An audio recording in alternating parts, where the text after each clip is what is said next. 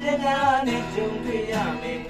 ပျော်ရွှင်တာတွေရှိသလိုဝမ်းနည်းရာတွေလည်းကြုံရမယ်ဆုံးရမယ်ဖြစ်ရုံဖြစ်စဉ်နဲ့မစိတ်တလေးတွေရမြင်သွားပါနဲ့မငယ်သေးဖြစ်စဉ်နဲ့စိတ်တလေးတွေမြင်မှရှိတယ်သူနာရဲ့ပြောလေးတွေမြင်ပိုင်ထားတယ်ပြောရင်းရထားလိုက်ပါ